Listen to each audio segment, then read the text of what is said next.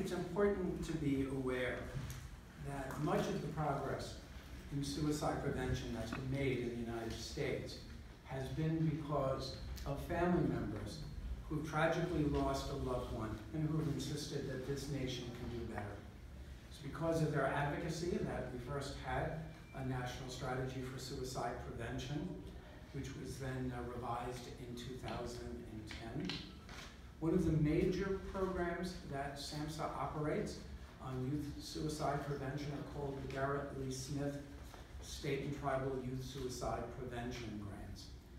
And these grants are named after Garrett Lee Smith, the son of former United States Senator Gordon Smith, who tragically lost his son to suicide. And like other family members before and since, out of that pain and anguish and tragic loss, have insisted that more can and must be done. The Garrett Lee Smith grants have now gone to all 50 states. Um, at any given time, about 20 to 25 states have those grants, as well as um, uh, usually about 15 or so American Indian uh, tribes. Um, we actually have evidence from the cross-site evaluation showing that youth suicide deaths and attempts are reduced in counties that are implementing the grant-supported activities compared to matched counties that are not. But the pattern is also that that effect fades when the activities end.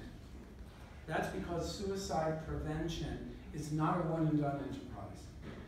It requires strong effort that is continued and sustained for us to have an impact. I also wanted to let you know that a couple of the major strategic documents that guide our work at SAMHSA, as well as with our family, family uh, our federal partners, families play a significant role. So for example, the National Strategy for Suicide Prevention that was jointly released by the Action Alliance for Suicide Prevention and the Office of the United States Surgeon General. There is an objective that calls upon us to work with families where there's a loved one who's suicidal through entire episodes of care. Now that wording about entire episodes of care is important because we tend to have the notion that if somebody goes to an emergency room, for example, and then is discharged, or even goes into an inpatient psychiatric unit and is discharged, that somehow they have been scrubbed of suicide risk and are no longer at risk. If only that were true. It is not true.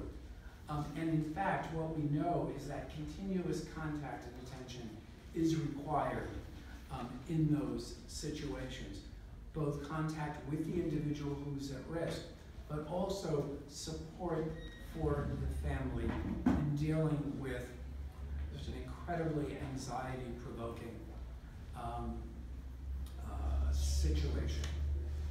Also, the, um, the Cures Act um, basically um, established an interdepartmental serious mental illness coordinating committee in the federal government um, that is chaired by the Assistant Secretary for Mental Health and Substance Use, a position that was um, uh, created by that.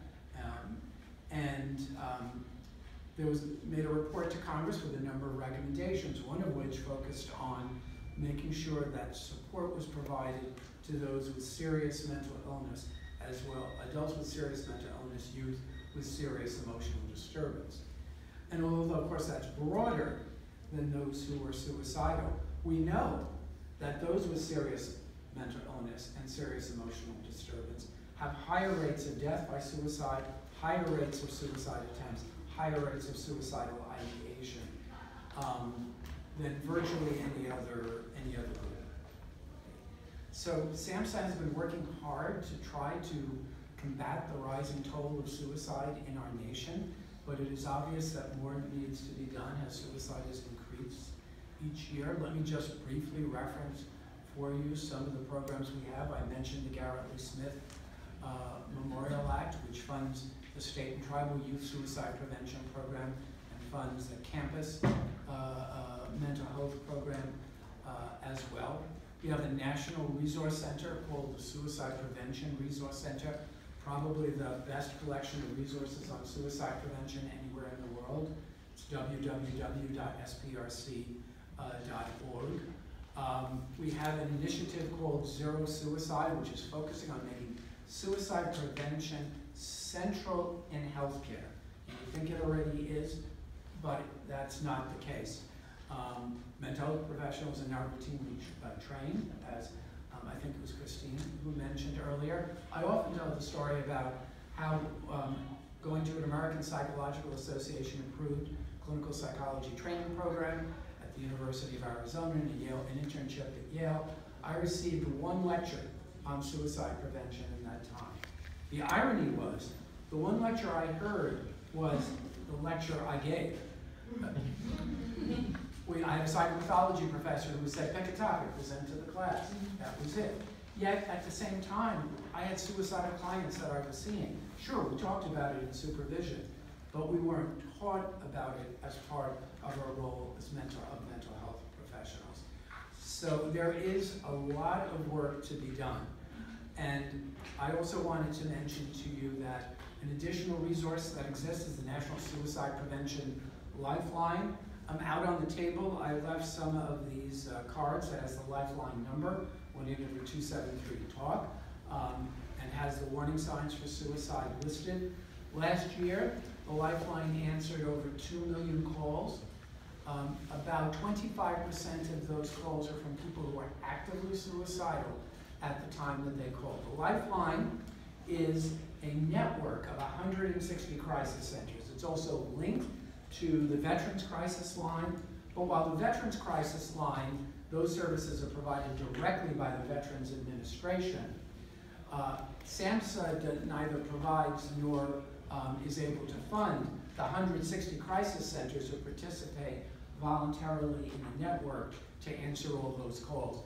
They depend on the support within your states um, for their continued ability to answer those calls. Because the reality is that in the middle of the night, or sometimes even at 5 o'clock on a Sunday, the only way you can be able to get help is by calling a hotline or by going to the emergency room. Okay. Um, so we are, we think this is a really important issue. We're looking forward to continuing to find ways to support families.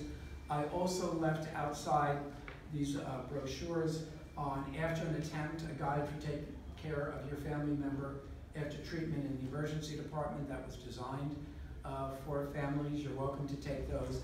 Both of these are available on the, uh, for free on the SAMHSA website for anybody who would be interested. So again, thank you for, um, Perry, thank you for organizing, thank you for having us here. Thank you for being part of the National Laboratory to Reduce Suicide in America. Thank you.